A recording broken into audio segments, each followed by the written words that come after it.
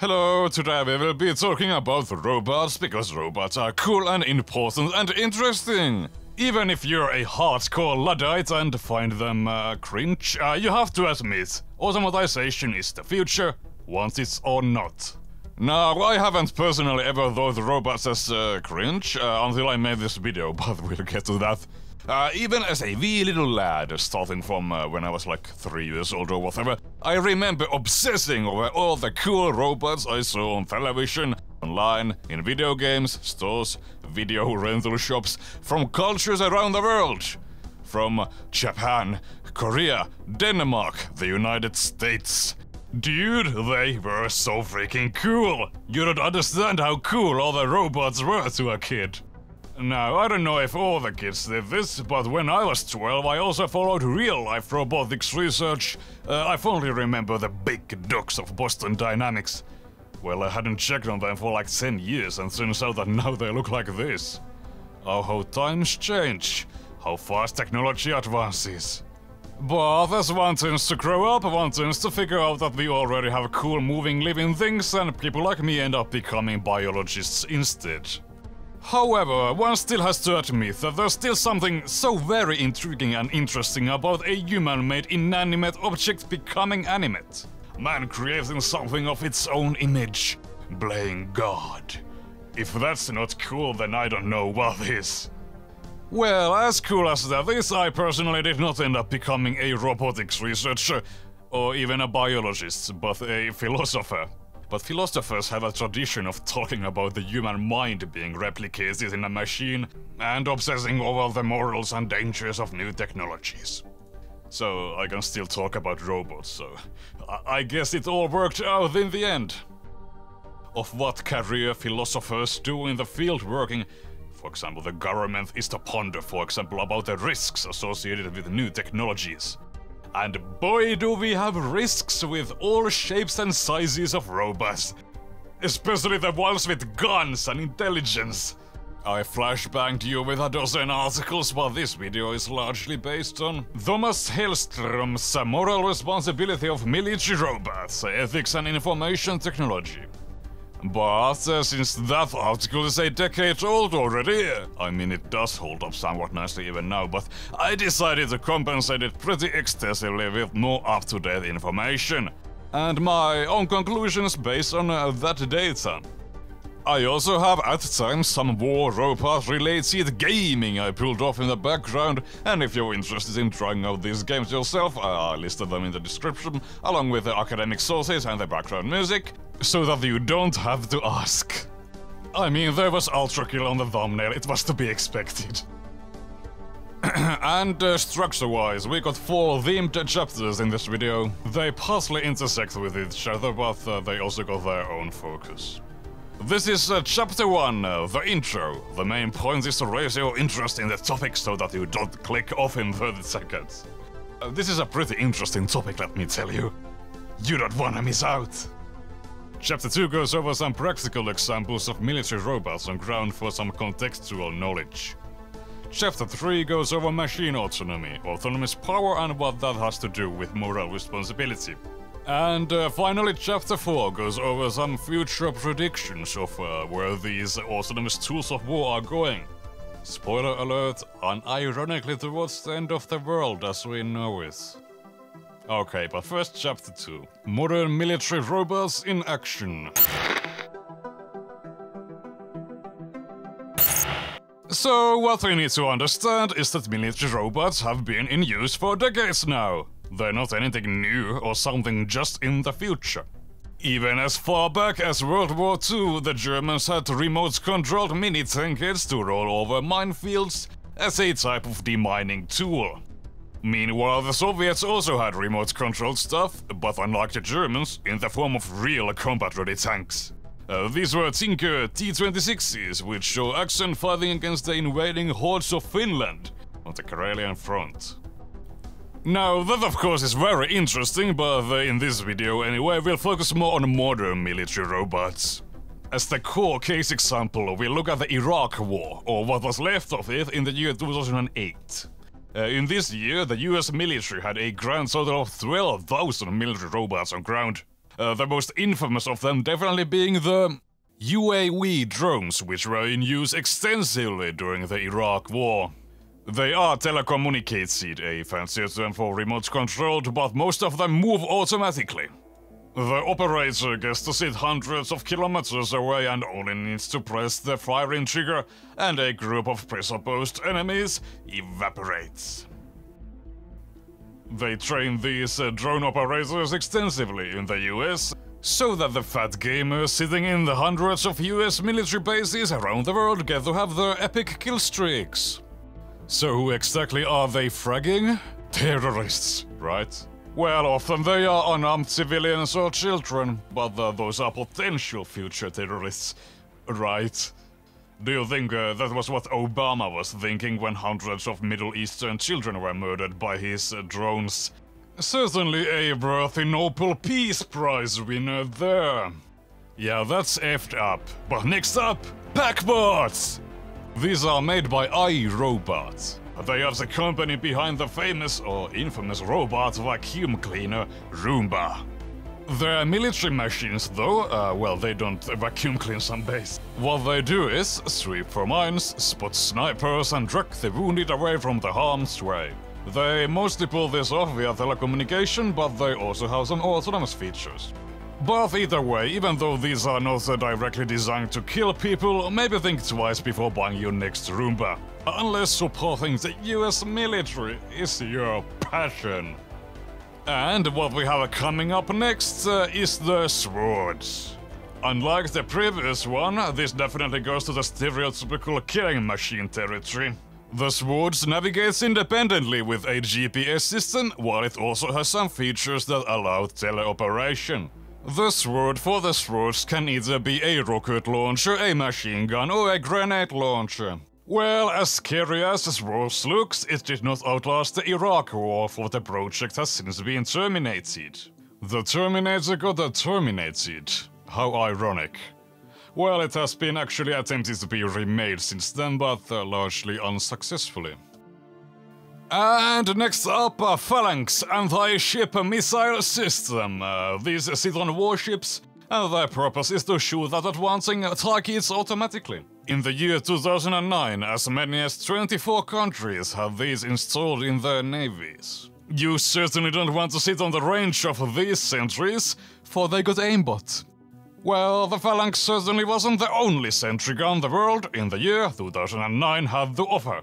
Now, what we have here did not exist in Iraq, but they certainly did exist in uh, Korea. We're talking of Samsung. Although they are famous for their exploding note phones, they also have proper military-grade hardware like the SGR-1, uh, as in Security Guard Robot. Uh, this is a sentry gun that is installed on the South Korean side of the Korean DMZ. It detects and uh, shoots automatically at advancing targets and also includes an acoustic device that makes the enemy feel nauseous and therefore unable to fight. Pretty neat. Also think twice before buying your next Samsung device, unless you're really comfortable in supporting Seoul's military advancements. Hey look buddy, I'm an engineer. That means I solve problems. I'm now also going to showcase real fast some war robots from the last year, uh, 2022, to keep this video more relevant. This is the UGV Piranha. Ukraine's homemade tool of destruction to kill the children of Donbass with. And uh, this is Belarus's Berserk. Cute, small and very loud. Let's hope it never ends up in Ukraine. Russia has probably dozens of unarmed military vehicles, but uh, most definitely the most famous of them all is the Uran 9. They work at recon, fire support and grass cutting. Uh, just kidding, it's demining. Although uh, these ones were used in the recent conflict in Ukraine and uh, actually had a reputation of being good terminators. They blew up pretty nicely from upcoming anti-tank and artillery fire. A real waste of resources considering how expensive these are to produce. Stop! Stop! Stop! Stop! And what we have coming up next uh, is some insane wizardry from the tech utopia of Estonia. They certainly punch above their weight with these futuristic beasts. We're talking of the Type X and the Themis. Oh, and uh, by the way, Themis is also among those toys that have found themselves on the battlefields of Ukraine. Well, either way, there's certainly tough looking things coming from a country as small as Estonia. And finally, the last robot of our showcase of stuff from the last year is the American Sea Hunter. It's an amphibious robot, intimidating certainly, and a whole fleet of these are currently in production. Certainly don't wanna fight another battle of Midway with the Americans there. Now, the Sea Hunter is specifically geared for anti-submarine warfare. So the Americans would need to automatize a lot more of their ships for a fully autonomous and functioning fleet. Right, I think we've gathered that there are like hundreds of these war robots already in existence. I could probably go on for forever showcasing random junk from around the world.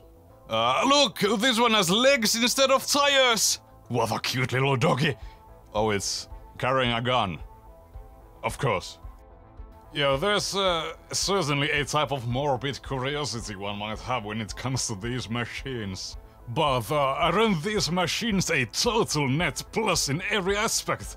They'll fight the wars for us! They can be sent to the battlefield to fight each other, we are going to have like zero human casualties! Well, sorry to burst your bubble there, but this is probably never going to happen. Why? Civilians and enemy human combatants.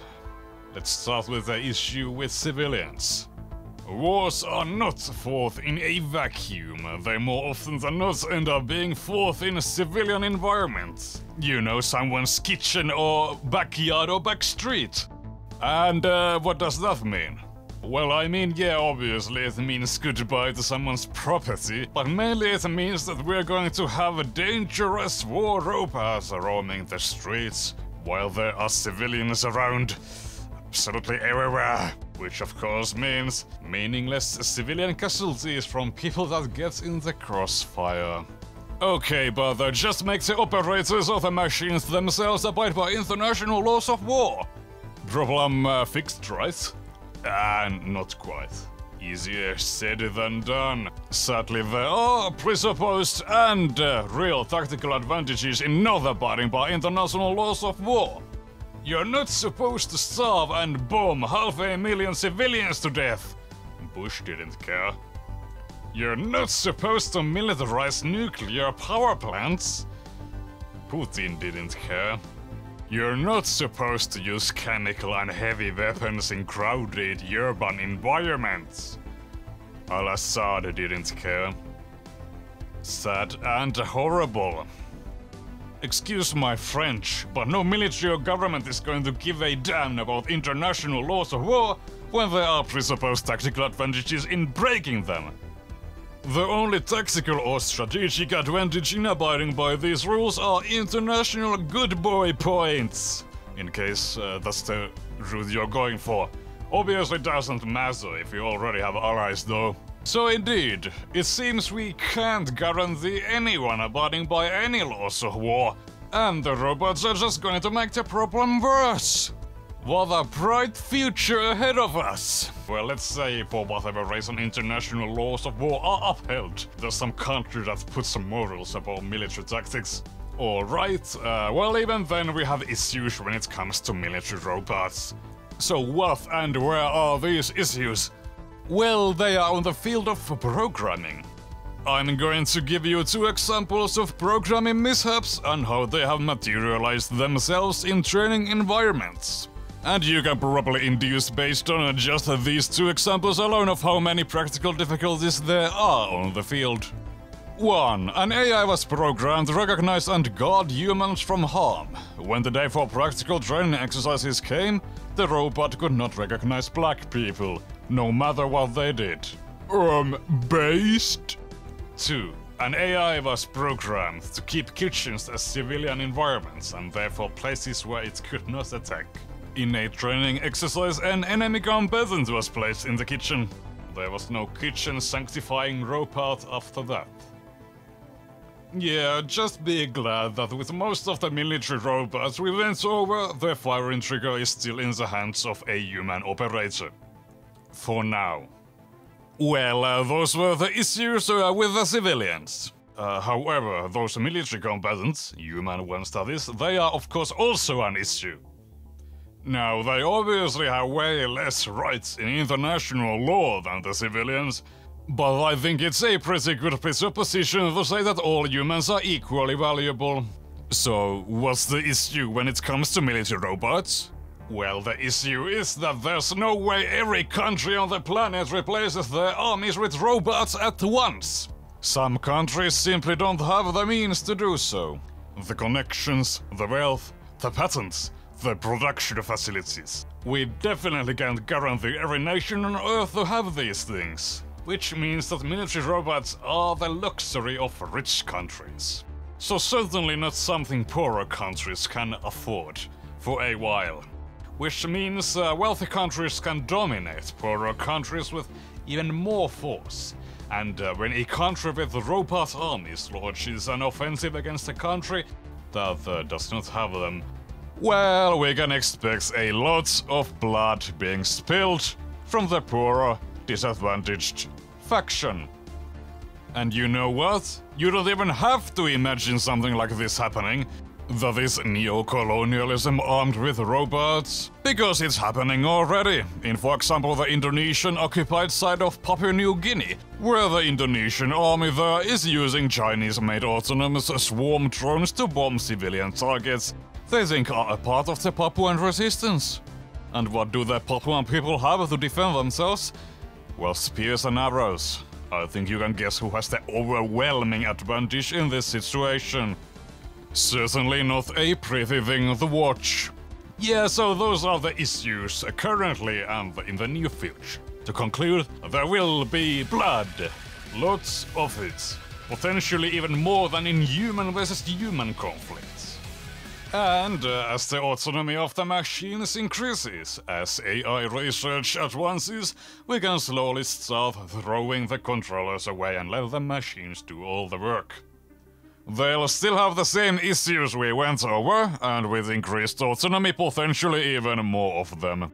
But more on that in the final chapter. But first we have to cover what autonomy even is and why it's a game changer, especially when it comes to morals. Well, lucky for you, that's what the next chapter is for.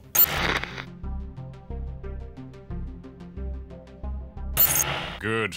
Now we about know what military robots were and are and what kind of stuff there is currently being developed. But be they were ever and whenever, can we make them morally responsible from their actions?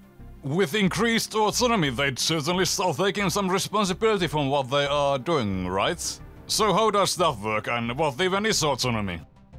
Well, Franklin and Kreuzer in their 1997 paper put it this way. Quote, an autonomous agent is a system situated within and a part of an environment that senses that environment and acts on it over time in pursuit of its own agenda, and so as to affect what it senses in the future. End quote. That's pretty cool, but uh, that does have some faults. Even thermometers and landmines fit this definition. The own agenda thing is also a mystery. Don't all machines follow the purpose set by their creator? How and why will they have their own agenda? And uh, to this criticism, the two, Franklin and Kreuzer, responded, Quote, By autonomous power, we denote the amounts and level of actions, interactions, and decisions an agent is capable of performing on its own. End quote. So therefore, we can conclude that the landmines and thermometers of the world indeed do have autonomy, but just a really, really small amount of it. Another philosopher who has pondered these questions is Parasuraman. From the year 2000, and he gives four classifications to classify an object as autonomous and therefore responsible for its actions. They are 1. Information gathering, 2. Information analysis, 3. The possibility to make and choose its own decisions. 4. The actualization of these decisions. Well, that's super cool, but I saw this moral responsibility word in the title of the video. Might this be connected to the autonomy stuff? Oh, glad you asked. It sure is. According to Aristotle, Huh. Weird how Aristotle and two other ancient Greek dudes are still relevant 2,300 years later. What are you reading? Plato's Republic. It's one of the books you recommended. So, what do you think? I quite like philosophy, I think. It asks the questions that I can't answer. You know, what is right or what is wrong, for example. It's not something that is so easy to decide. Wow, so true, but you should have picked Aristotle's Nicomachean Ethics instead. Um, uh, what was I talking about? Oh yeah, according to Aristotle, an agent is morally responsible from its action if the action is worth praise or disapproval. And adding to this, only an agent that is able to make voluntary decisions can even get to the being praised or disapproved of part. And continuing with the same logic, making this a bit more in depth, a voluntary action has the following two properties. 1. The origin of the action must be in the agent itself. 2. The agent has to be conscious of what it is doing. But we can go even more autistic and say the same in only four words to show off. A voluntary action requires 1. A causal responsibility, 2. Intention. Yeah, that intention part. Machines will probably never have self-consciousness, and therefore moral responsibility. Alright, cool, cool, we can go home now. This was already settled 2300 years ago. Machines can't be moral agents. At the current stage of development anyway. And besides, I'm not yet fully convinced. Maybe we can still force through some moral responsibility to the robots. Oh, luckily we got our old pal Stroheim. Oh, sorry, what was the guy's name? Ah, yes, Hellstrom. Stroheim was from like JoJo or something. バカ者がドイツの科学は世界一 Hellstrom uses autonomous power to come to a different conclusion. He says, Autonomous power is a combination of self control and capacity for actions, interactions, and choices. Uh, yeah, end quote. And with this kind of autonomous power when applied to robots, well, I suppose we can sell them as moral agents now. Especially if its autonomous power levels are like over 9000! Wow, what a long dead meme. Why did I say that? Okay, well, I mean, it's certainly not anything new for humans to give a moral responsibility to machines. Happens even now. Surgical robots are said to be doing right and wrong decisions. Delivery bots are praised and disapproved of. ChatGPT? Well, you probably know already how much ethical drama that has caused. Studies show that acting like this is rather typical behavior for humans. If they don't know the intricacies of the complex objects in front of them, they start thinking of the object as being capable of performing human-like actions based on a human-like mind. But they'll the human the logic according to which the object in front of them works, and suddenly the giving moral agency thing disappears. They are not much blamed from their actions anymore. Most of this giving moral responsibility thing that happens in practice, yeah, indeed, it's based on ignorance. Based on humans wanting to project their humanity onto random things, to set the same capabilities as they have to objects that don't have anything nearing them. But uh, this doesn't change the fact that the more we think of a random object as autonomous, even though they might objectively not be so, uh, the more they have autonomous power in our minds, and therefore moral responsibility. I don't think uh, that's philosophy anymore, though. More like seeing a deer in the woods and pissing one's pants moment. I think we should uh, stop talking of subjective autonomy and start talking of objective autonomy again. Say, do you like crafts? You like crafts, don't you? I know you like crafts. This here is Hellstrom's lethality autonomous power axis. Look how good lookingly they intersect. Uh, we should have a pretty good understanding of what autonomous power is by now. The lethality here, meanwhile, means the object's physical possibility to kill purposely. So if the gun accidentally shoots its owner, it's uh, maybe lethal to its user, but not to whoever was actually supposed to be shot. And uh, therefore it doesn't fit the axis here. Upmost on the lethality axis, we got the A-bomb, as in atom bomb. About as lethal as it can possibly get. You know, excluding like 93 different types of nuclear warheads. But if these were here, the whole axis would be filled with them and there would be like a millimeter of everything else at the bottom.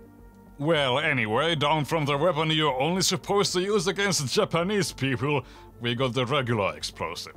Still very much unquestionably lethal. Even more lethal than the traditional firearms we have uh, down here. This reflects the fact that explosives kill the most people in wars, in the form of, you know, artillery, mortars, air support.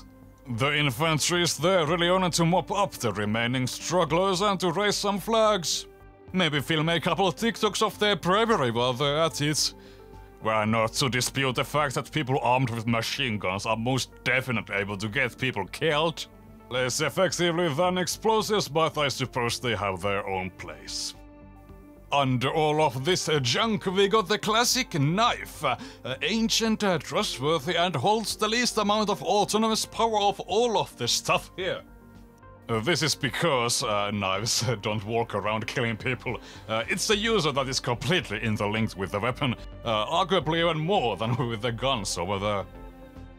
Well, that was the less autonomous side of the graph. Stuff at the opposite side of the autonomous power axis includes our old robot friends, like the Phalanx, the Samsung Sentry Gun, and the drone.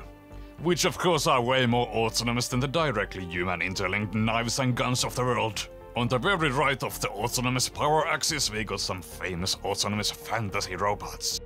Like the R2-D2, which uh, certainly has autonomy but isn't really built to kill, uh, to my knowledge anyway. And uh, the machine that is certainly built to kill, the Terminator from the classic movies. And uh, the less classic movies anyway, which uh, weren't as good as the OGs, but did you know that the Terminator TV series from 2008 had bionicles? Hello, Mr. Ellison. How are you today? I'm fine, thank you, John Henry. Are those toys? Why is this Yes. Mr. Mertz brought them to me. He thinks these will help me develop fine motor control. They're very interesting. This is Toa Tahu, My favorite Bionicle. the Toa of Fire. He wears the mask of shielding and wields the Marana Ghost Blaster. He has sworn to defeat the Makuta. Okay. The Terminator, I presuppose T-2000 is in the lethality axis in about the same level as the machine gun. After all, it's essentially just a humanoid with a machine gun and a decent aim. Plus superhuman strength and endurance and a fascination with bionicle law. But none of that is going to matter if you don't let it come close. The point is, uh, in theory at least, even a regular bomb is deadlier than a Terminator. And by the way, the Terminator is still explaining bionicle law in the background, and uh, I think we can move on. But, but, but, but, but before that, uh, aren't we forgetting a pretty important part of moral responsibility when it comes to miniature robots?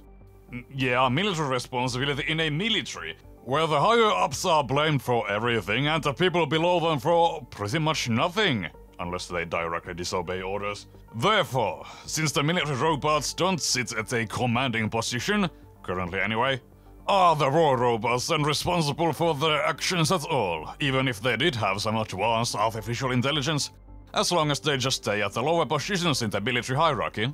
Well, Hellstrom made a cool graph about this topic as well. It's garbage resolution, but since we are all graph lovers here, we shall have a look at it. This is how a traditional democracy that goes to war works with this hierarchy of moral responsibility. The people make the decision.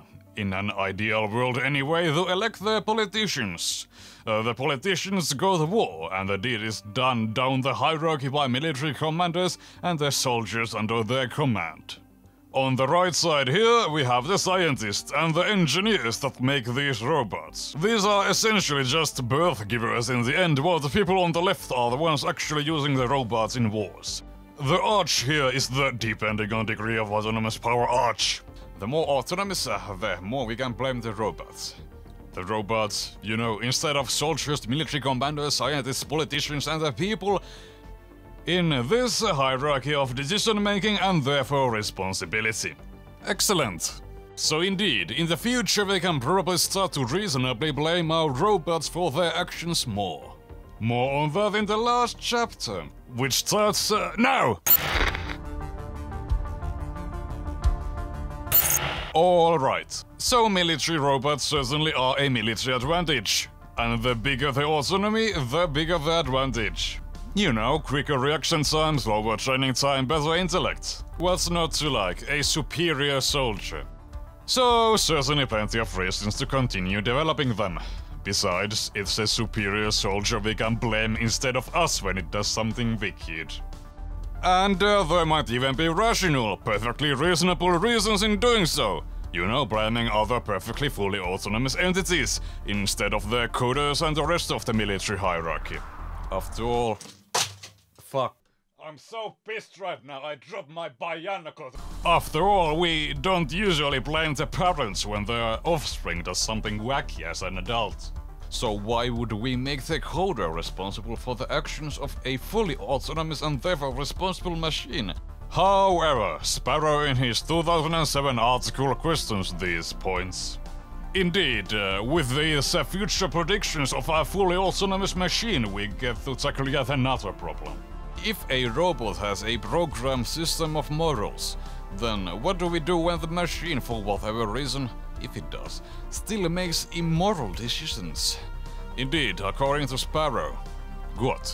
Autonomous, unpredictable war robots should not be harnessed to situations of war, because therefore no one can be said as morally responsible, as a robot can't be punished. End quote. But if, let's say, the robot can learn and changes its behavior after some kind of a punishment is done to it, would then the machine have moral responsibility, even from an Aristotelian view? Certainly. I may analyze orders, but I may not disobey them. Should I disobey a direct order, my memory would be wiped. I must destroy you. What good is an intellect if you can't use it? But at a point when a machine can ponder what is right and wrong, they're um, probably too sentient and rational for combat purposes anymore. You know, they probably have 100 other things they'd rather do than get themselves killed for some stupid human war. And when a machine turns from a hunk of metal to a sentient being, it's uh, probably us who have a moral responsibility towards them at that point. But yeah, let's say we got a sentient robot army that is really willing to fight. Let's say they're injected with retardation chips that override part of their intellect and make them stand in line. Well, I mean, yeah, but here's another point to ponder when it comes to these things. Even though road traffic is dangerous, lethal, and polluting, it has so much good compared to the bad that actually it's uh, kind of morally alright, isn't it? Would the same logic then potentially work with war robots? Are they just the necessary evil? Damn, what a stupid point. The answer is absolutely not. You know, we can uh, probably live fully autonomous war machines not invented. Uh, we could have probably lived without 93 different kinds of nuclear warheads as well, uh, or landmines. Or whatever bio-weapons they're currently cooking in the biolabs of the world. No, to think of it, uh, we could have actually lived without uh, things like plastics as well. Or fossil fuels. Or actually the entire industrial revolution and its consequences. Okay, well, if we don't go that far and focus still on autonomous weapons, here are a couple more points uh, related to that discussion philosophers have wondered since like uh, forever actually. Are human-like complex moral systems even replicable? You know, programmable? Currently, uh, definitely not, as we kinda went over already. The machine morals currently sit at a couple individual surface level rules on where not to attack, etc. Doesn't mean that the field wouldn't develop, however. Uh, maybe in the future we can actually have machines with programmed in complex and aggregate moral systems. Or maybe we just uh, ditch the programmers completely and just grow a biological living pair of brains into these tin cans.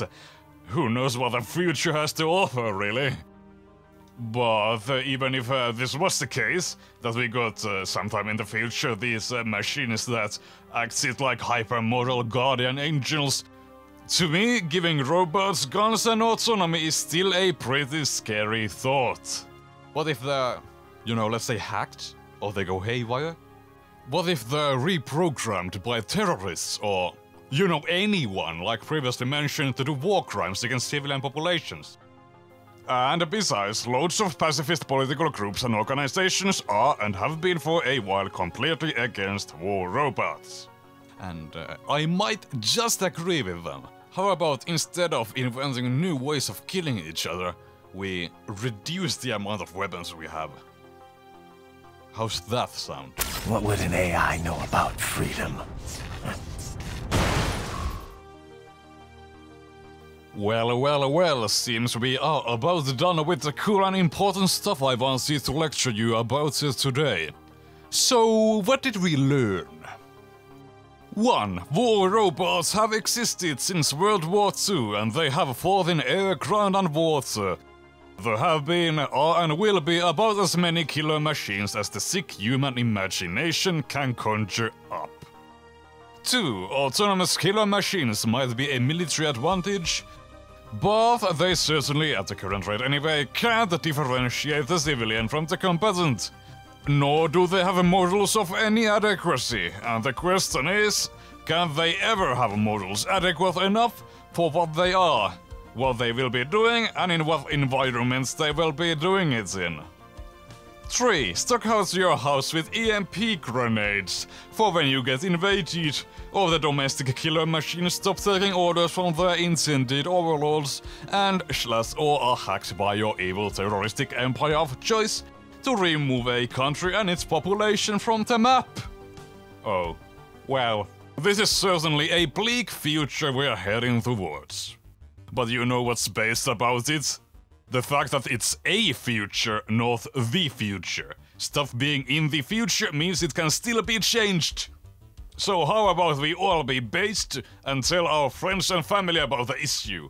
Maybe inform our local representatives while we're at it, uh, hold a demonstration, uh, harass people, on... make some noise. Yeah, I can't encourage you to do anything illegal for our corporate overlords at Google but not allow it, even if it's uh, unquestionably moral. But between just you and me, you should definitely become a domestic terrorist. Uh, for more illegal content from me, uh, check out my Odysee or BitChute, but uh, for now, goodbye!